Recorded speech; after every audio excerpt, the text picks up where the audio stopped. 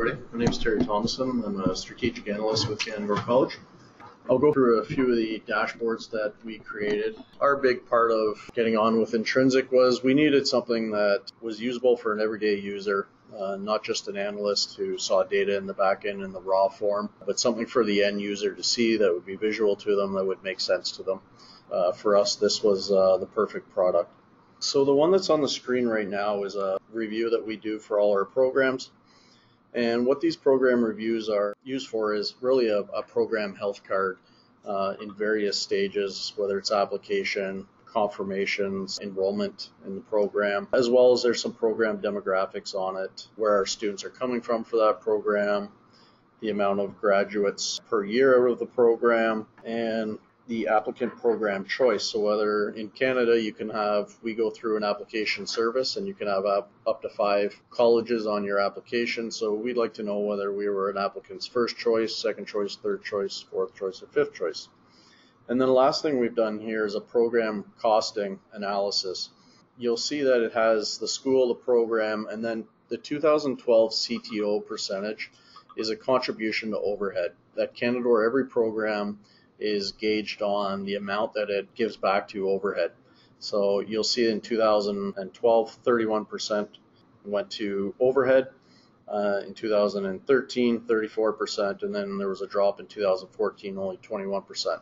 And once you're in there, you can now see instead of just the contribution overhead, you can see the enrollment. So where it says 2012 uh, GPOG, those are our general purpose operating grants. Those are the ones that the government funds us for. It shows we had five international students, and then our total revenue and our total expenses, uh, and gives your contribution overhead. So it gives you a, a good program report card. Um, it also gives you the availability to drill down into, so if I take our term of 2017-20, we can see in that in that group our age group of our students and if we we can drill down further if we pick the 19 to 24 year olds, we can filter by gender. And there we have, we could see how many female and how many male we have between 19 and 24 year olds very quickly. These are questions that I used to get uh, almost on a daily basis of our demographics, and now it's drillable by the end user, not just by, by me emailing it out to them. So that's a sample program review. Also, just to kind of explain how a lot of this was built. So Informer has the ability to create these queries in multiple different ways. And if we actually go in to edit this specific dashboard, we just wanted to kind of show you that there was um, seven data sets that made up this this actual dashboard. So you have the ability to pull in data from multiple different places and in multiple different ways. You can do create data sets using our Informer 5 dataset designer, which is kind of that drag and drop field. And uh, we also have workspaces, which basically you can drag in CSVs and you can use those to create uh, your data and then you can link that to your ERP system that you've already got set up. Or we have the ability to do native SQL queries also um, from your ERP system or other databases that you have, and then you're able to combine all of them into one. So we just wanted to kind of show you the flexibility that you have with um, inside of that. And also, just just in general too, you have the ability to um, filter the, this data just by clicking on. There's a lot of interactive stuff that you can do inside of here. So I can click on, you know, a campus or a city, or I can I can grab a decision, and it's going to change my data that's on there. So when these reports, these dashboards get shared out with any of the end users, you have the flexibility to kind of move um, between the, the filters and, and, and, changing the data. So we're going to go on to another report to show you uh, something else that we've worked on. So this one here is it's a little bit different than the first one I showed. This one is a comparison board. And what this is is our, our key performance indicators.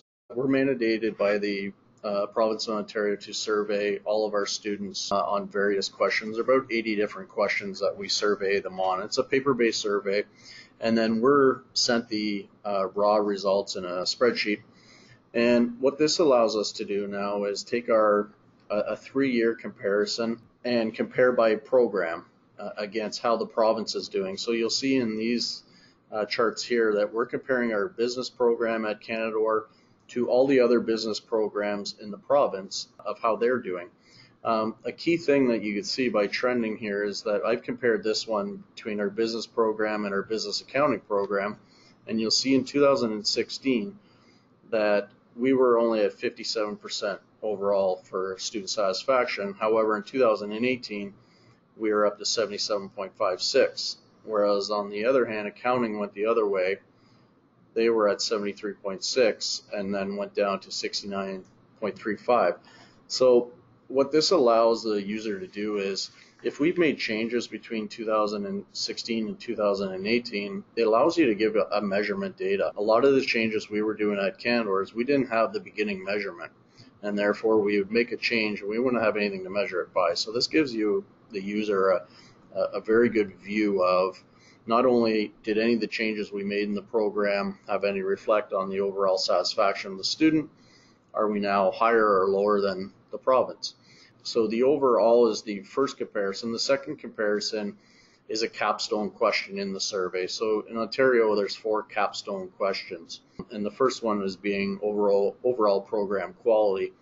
And so what it allows us to do, if we do see in the overall that we're uh, lagging behind the province, we can drill down into the actual questions to see what area is dragging us down, whether it's uh, facilities or faculty or services at the college, that sort of thing.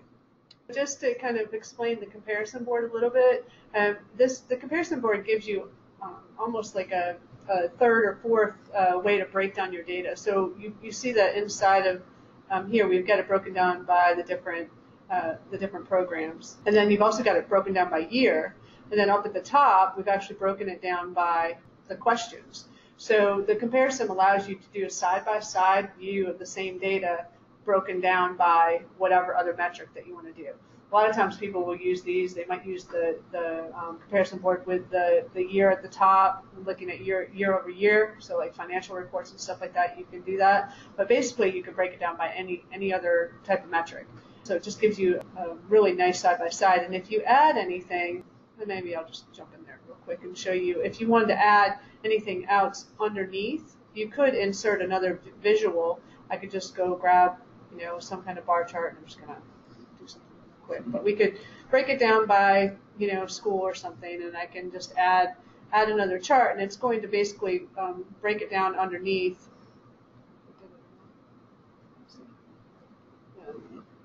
Yeah, so you can see that as you're as you're starting to build out, you can build up and you can build over that's just something to kind of show you how that comparison works. This is built um, upon a workspace, so workspace yeah. inside of here. So we can actually go look at that data really quickly. Um, go back out to the data sets. Do the next question. Yeah. Yeah. So this was something that we were able to pull in, and we pulled this all this survey data in via a workspace. So workspace um, inside of our data sources, it just allows us to upload a CSV and bring in the data, and then we're able um, to convert the data into the graphs. Um, in a lot of these workspaces, you're actually able, if you have something that you're able to connect, you can connect it to um, your existing database, and then you can add to your data sets. And I'll show you a bigger data set when we get to that point. But that's kind of where this data came from, because none of this data is actually housed inside of um, the ERP system, they get this information from their the, from the ministry from, from the, the ministry. Yeah. So it's not something that is inside of there anyways, but they do need to report on it. Works. Okay, we're going to move on. So this one here again in another format that was the, the best suited for the audience. And what this is is 2018, our upcoming term. Um, it shows how many applicants declined their offer their program offer, how many acknowledged it, uh, how many have actually confirmed into the program, and how many haven't made a decision at all. But what it allows you to do is that's the School of Health Sciences, but I can drill down into all my programs in the School of Health Sciences. I can also see it by campus, and then I can see it by semester also. So these are students coming into semester one. I can see that we have 62 students coming into our, our practical nursing program so far in 2018. And how this relates, and I'll go down to the bottom here. This is applicant program choices. So as I mentioned, every student's allowed five choices on their application in Ontario. And the importance to this is when I go to a college drive, so I have out of my first choice applicants, I had 120 of them, 50 of them confirmed. So the conversion rate is very high. However, when you go to our second choice applicants, where it says we had 48 second choice applicants, you can see our conversion rate drops quite a bit. So that's the importance of being able to drill down into these uh, program choices is that we know if we don't convert our first choice applicants, we're going to have a hard time filling our programs. So this gives the viewer a very easy drill down based on where people are at in their application stage, and then again, what program choice they were coming into our program. We've also found through data analysis that those students who confirm with a third, fourth, or fifth choice program are less likely to complete the program. Most of those students are in a program career mismatch, maybe moved away from home, or we weren't their first, they didn't get into their first choice college. Uh, so they may not be coming into Canadore uh, completely satisfied already with the, the process. So that's a, a, a key metric that we look at. Yep. And, and basically, this is built off of a pivot table. This specific query is out of Banner. Um, it's built through a SQL query, so a native SQL query. And what you can do with any kind of um, this data that we have, and what he did here was he created a pivot table based on specific items. And just to show you a really quick one, I could do something like program number or name. We do program name, and then I could go across the top and I could quickly create something based on decision code. And it's going to automatically give you the, the different items across the top, and then you can see underneath here. And what he had on that specific um, one is he actually had something that was a drill down. So we went from, you know, if we went from program name down into uh, like term code. So it's going to give you a drill down capability where you can actually expand and look at the data underneath. And then any one of these, you're going to be able to look at the data behind it. So that's where that actual um, visual came from, was from the data set. Um, and then he brought it over into a dashboard, which we can then share out with any of the users. Also, we wanted to show on uh, inside of this specific data set, uh, we can actually go into the data set, show you a little bit of what we did to add some of the columns. You can see this is the kind of the inside, the guts of the actual uh, data set and how it's built. And so over here, this is a query. So we, we wrote this with a native SQL query. It doesn't mean that you can you have to do that, but you can do it that way. Um, and then down below, what we were able to do is add fields from another data set. Now this other data set was built just by dragging and dropping fields into it. And if I click on that, I'm able to connect from one data set to another, and then I can add fields to it by choosing the, the actual fields that I want to add to the actual data set. What happens is those come in um, as another field, and we have the ability to do that.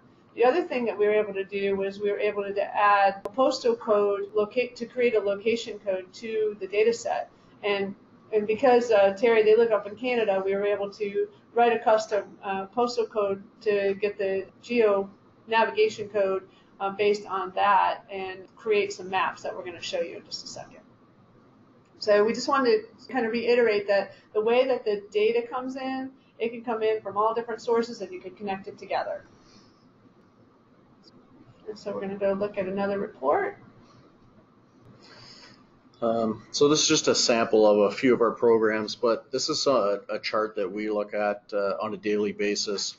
And what it is is our our students who have accepted to come to Canadore for the fall of 2018 versus our target that we had set for that program. So you can see that the aviation aircraft maintenance program is only about I don't know 60% their way to target. Whereas the aircraft maintenance avionics program has beat their target by 14 people already. So we look at this on a daily basis to gauge uh, program cancellation decisions, uh, scheduling decisions, hiring faculty, anything that comes into a program or into a decision due to increased enrollment. Over the past few years, we've been fairly flat with enrollment, about a 2% increase every year, but there's always anomalies where programs will outperform what we predict. So this allows us to make decisions much earlier in the process and gives us time to hire, schedule proper rooms, that sort of thing.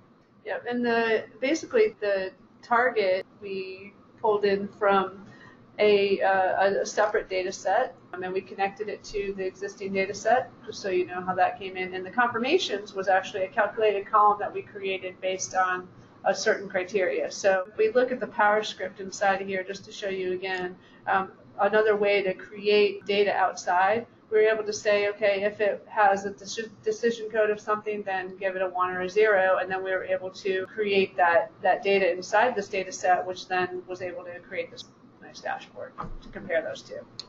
That's pretty much it. And you could also, uh, if you wanted to filter, you could filter on this. I could go down into here, choose any one of these, and it would allow me to filter based on um, different items that are in the data set. We've got two more to show you guys. So I'm going to go down to program choice. It's our last, uh, two more. So this one here shows, again, we showed it a little bit on the program review, but it shows the percentage of first choice to fifth choice applicants. So you'll see here that practical nursing is 48% of our program applicants are first first choice applicants. And again, the, the importance to that is our conversion rates are much, much higher uh, with a first or a second choice applicant than it is from third to fifth. So here you can compare program to program of the amount of first choice applicants in the percentage of the overall application base. So it's a great visual to understand. For example, broadcasting TV video on the very end there has a, a very good first choice. And not only is that important to us for conversions, but it's also important because we know how we're competing against the province. So if we know we're getting 61% of the population as our first choice, uh, we're doing very well versus the other schools that offer broadcasting TV video. One more. Got our. Okay. So this one here breaks it down by catchment area. So every college in Ontario, there's 24 colleges, has a catchment area, and that's typically the surrounding cities that you draw the majority of your uh, students from. But what this allows us to do is drill down by catchment area so I can see that Georgian College is the next biggest catchment area. We had 561 applicants from their catchment area. And then I can break it down by the programs that those applicants, yeah. There, the total applicants and what programs those students from their catchment area came into. And what we do with this information is we try and figure out what the net gain versus the net drain of applicants are. So if we both offer biotechnology technician at Georgian College and Canadore College, we can see that five students from the Georgian College catchment area came into our program. Now we can reverse this to show how many applicants from Canadore's catchment area went to Georgian College. So we get a net gain and a net uh, drain from catchment areas. Now, this one here is used a lot by our recruiters, and these are applications, offers, and confirmations by school board. So province of Ontario is uh, um, area-wise is very large, so we have to be strategic on how we do our recruitment and where we send our recruiters. What this allows us to do after a recruitment cycle is if I want to see if my recruiters went to Rainbow District School Board, I can drill down by how many students came from each high school. And I can also drill down into what programs they went into. So this gives us a, a little return on our investment. So if we know we went to Rainbow District School Board, got approximately 70 students from there, but we didn't go to the school board in Ottawa per se, we could see whether we're really getting a return on recruitment by going there or not. So this has every school board in Ontario based on individual high schools got one more to show you.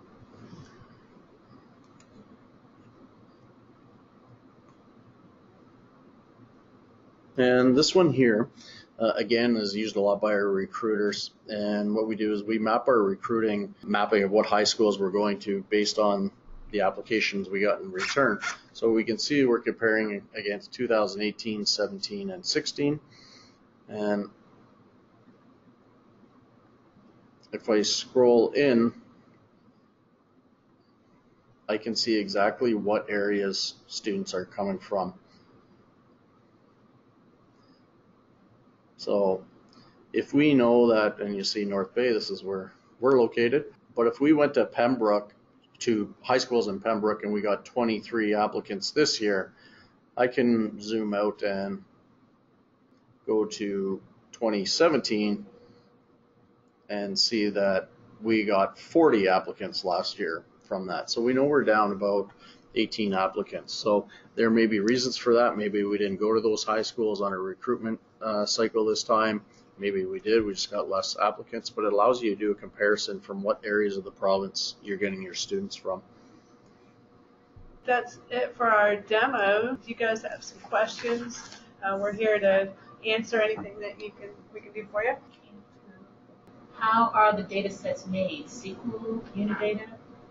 The data sets here, so Banner is a is a SQL database. A lot of our customers are Unidata, Colleague, uh, Colleague SQL, and Banner. So just to kind of show you our data set designer.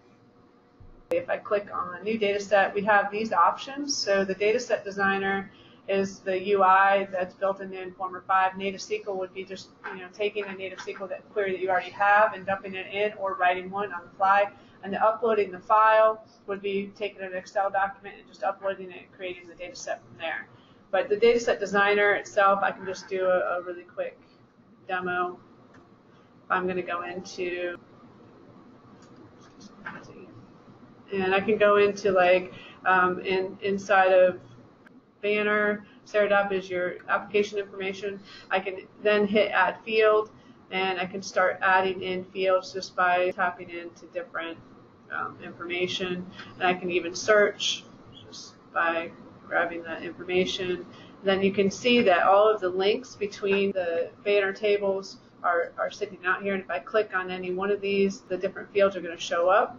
And I can add fields in from there. So if I wanted to go down into SPRIDEN, which is you know the person's information, we can get into there and add different um, information. And as I hit close, it's going to start to fill that in. And then you can add criteria to your data sets, and then you can add flow steps, which is basically adding calculated columns, doing the zip to geo that we did before. You can add in fields from another data set or another data source. So that means that we could add fields from another database. We had the connection. Um, so basically, you can just kind of pull everything into one, create that big data set, and then you can create those reports off of them. And the reports in, in, in Informer 5 are what we actually kind of consider just any any way that you're going to um, consume the data. So whether it be a dashboard, a comparison board, or just a data view, which would be just like a, an existing report and you just want to see the data, we can do that. And also on any of the data sets that you have, you have the ability to schedule and um, refresh these these items. So if I go into the application one, we have something called jobs which allows you to create a job and email. So I'm just going to show you that screen. You can add actions. So the actions that you have ability to do is send an email, send a burst email, send an FTP, or send to a file system. So you can really organize and customize this to make the processes a lot easier by, by getting the data to yourself. So there's lots of ways to consume the data, lots of ways to use the data, and then lots of ability to bring data in. This might be related. It's saying uh, the question is, how are you connecting the data sources together? Are you using a primary key? Yeah, there's different ways to do that. Well, it doesn't have to always necessarily be a primary key, but it depends on what type of database you have. But if you look inside of here, we've got different types of data sources. So they're they're co- connected to their banner, which is Oracle. But if you click on new data source, you can see that all the different types of SQL and there's U2, and then there's the workspace, which we talked about is just uploading CSVs.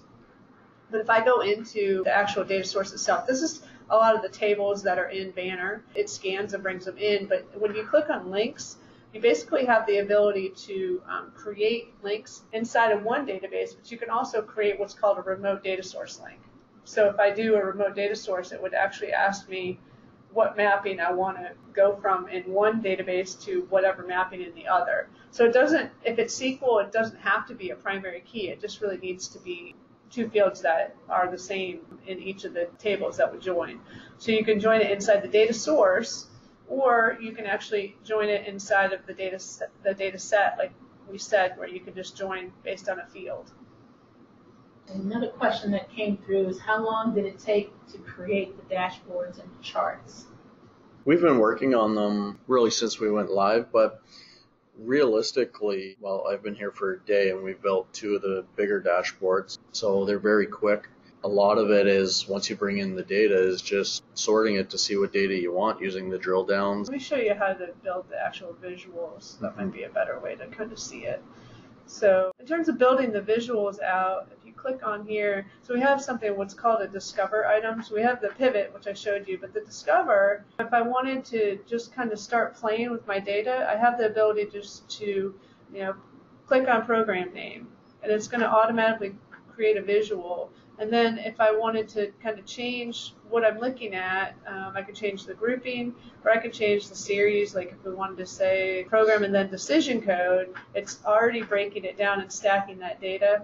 And then I could save that visual. And so when I save that visual to the data set, everything that I save kind of comes over into our visuals area. And then when I go to create the actual dashboard itself, I can take any of these visuals or create new visuals on the fly if I go over to reports, I can do a, a, really quick new report too, just to show you that. We have the ability just to basically take any of that stuff that you've already attached to the data set and, and create a new dashboard. So it's really not creating the visuals, it's really getting the right data behind it yeah. that is that takes a little bit longer. The dashboards are very easy yeah, to so make. Once you have the right data and the right outputs, the dashboards are the easiest part. So if I go grab um, just go grab the big one here. And I can hit save. Um, basically, it's going to go out and it's going to say, okay, well, what kind, what do you want to do inside of here? So I can say, I just want to insert, I want to insert any of my saved visuals, and it's going to give me the um, ability just to add these visuals based on you know what we've already created and you can modify those visuals I can even create new visuals so like if I, I have those but then I want to insert on top of that a different type of chart I want to go do a pie chart because we don't have one they look pretty. Um, I can do it based on campus. I can hit save, and it's going to create that chart. So you can see that the, the actual creating the charts isn't hard. It's really making sure that the data that you're that you're trying to display is correct. Another question came in: How do you publish these dashboards to end users? Are they Informer users, or do you use links, or do you have a portal that you use to present dashboards? So over here on the right hand side, once you've created a dashboard, you have the ability to create a uh, generate an external link. Depending on how you decide to set things up, if I um, copy this link and I open it up in my browser, it's I'm now outside of Informer, but um, I do need to let you know that you know of course this is inside your network so you either have to be VPN inside the network or somebody in your IT area would create a public facing website but you also have um, the ability in here to do um, an embed. So you could embed it into a portal. So if you have SharePoint or something like that, um, it would actually embed the whole visual, and you would be able to do it that way. Can you prevent drill downs? Yes. Good question, and I can Good show question. you. I can show you yeah. where that is. And we do prevent. Uh, we don't allow users to go to the data level just for privacy reasons. Yeah, so on each of the visuals themselves, you can click into the configure button, and um, you have the ability inside of here to, right here. So the drill downs, this is where you can say, I don't want people to um, view data. Um, I only want them to be able to drill down on specific fields. So I can click, I only want um, like uh, maybe level code and just picking stuff here, program name. And I can hit done. And then when I hit save, I'm not going to be able to drill into the data and I'm not going to be able to drill down on any of those other fields. So if I click here now, I only have level code and program name.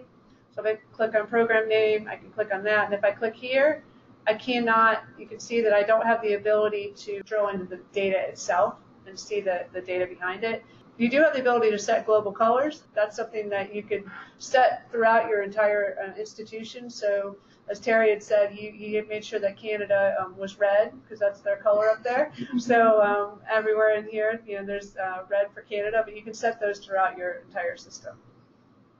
One final question is how easy are the reports to use for end users? Are they interactive?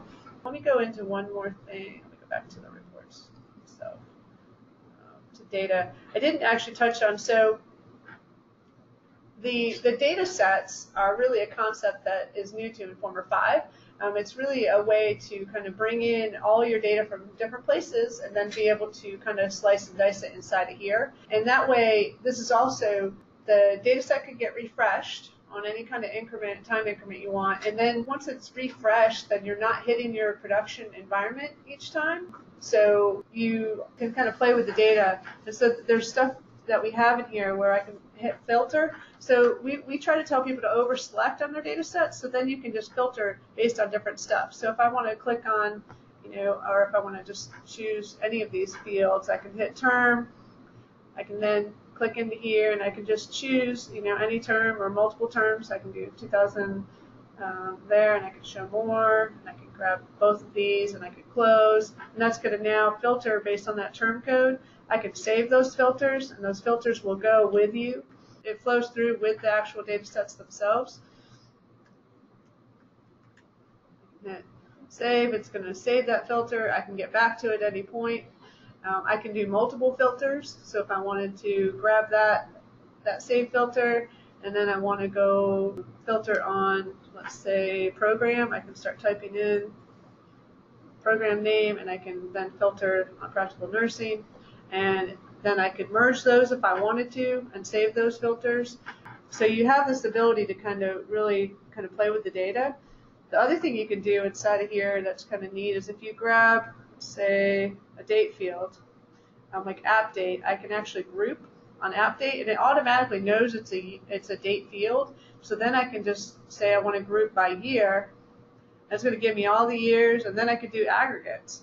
I can add, you know, different types of aggregates or I can just do like a count. But that way you can kind of really quickly look at your data. If you want to break it down even further, we could group again. So if I wanted to group by program, I could do that. So then if I want to look under here, it's kind of grouping. And this is similar to what Terry did with his pivot table too. So you have this uh, ability to kind of interact with the reports or the data set itself, and then you can create the, the visuals from them. I think that was the last question. Again, we thank you all so much for joining us today. If you'd like some more information or would like to schedule a personalized demo so you can see how Informer works in your environment, feel free to reach out to us at informersales at entrinsik.com or give us a call. There's plenty of information on our website, including product reviews, white papers, reports, all kinds of cool stuff on our website at entrinsik.com slash informer. We look forward to hearing from you.